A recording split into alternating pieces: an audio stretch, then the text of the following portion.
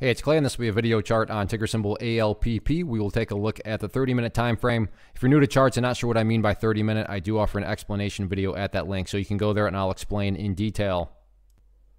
Well, this thing had yet another monster day, and uh, to think that, you know, I was doing a video on it not that long ago, and the, the, the, price was down below 10 cents. Now it's up here above 40 cents. So great stuff to see. Uh, a sign of encouragement for the world of penny stocks is they've been very, very dead lately. So maybe this is the start of something bigger for the markets.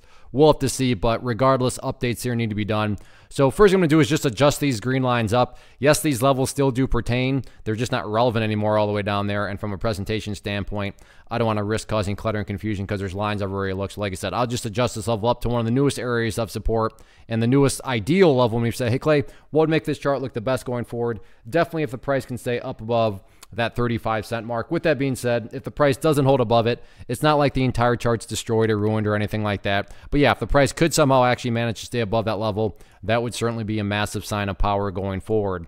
Taking a step back and looking at all this from the bigger picture point of view, that's where the purple line there comes into play, the 50 period moving average. As I've talked about in past videos, that line, hence its word moving average, will continue to just move itself higher and higher. And as far as the, you know, the, the big picture health of the move is concerned, quote unquote, the move being defined is that right there. So as long as the price stays above that line, as the line itself moves higher and higher, then the Bulls are in full health. The Bulls are in full control. However, you must visualize that. That is what is being represented. Again, yeah, staying above 35 would be great. But from the grand scheme of it all, as long as the price is above that purple line, the Bulls 100% own the chart. As far as levels of resistance are concerned, nothing fancy or complicated here other than the fact that the party today finally stopped right up there at 43 cents. So for that reason, that reason alone is going to be the, the key level of resistance to watch going forward. So 43 cents, public enemy number one. But as I've said in past videos, as long as the price continues to chip away and build those higher lows, then given enough time, everything else will take care of itself, including breaking levels of resistance. So just focus on continuing to go through healthy consolidations and build higher bases and sit back and let the trend keep on doing what it's already been doing.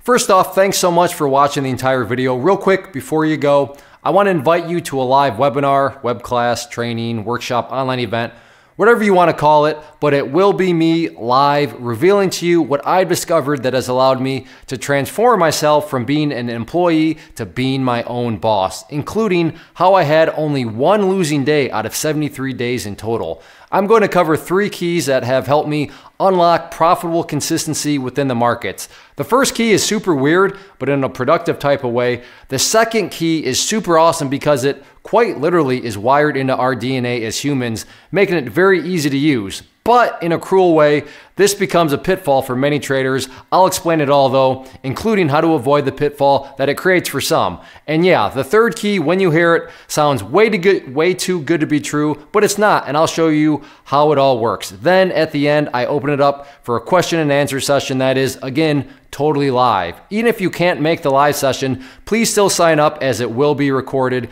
and you can go back and watch the replay that I will send you. Click the image on the screen or click the link down in the description box so you can get the date and time and claim your spot, which I should note is limited due to the fact that this truly is a live event. If you have any questions, let me know. If not, I'll be seeing you soon.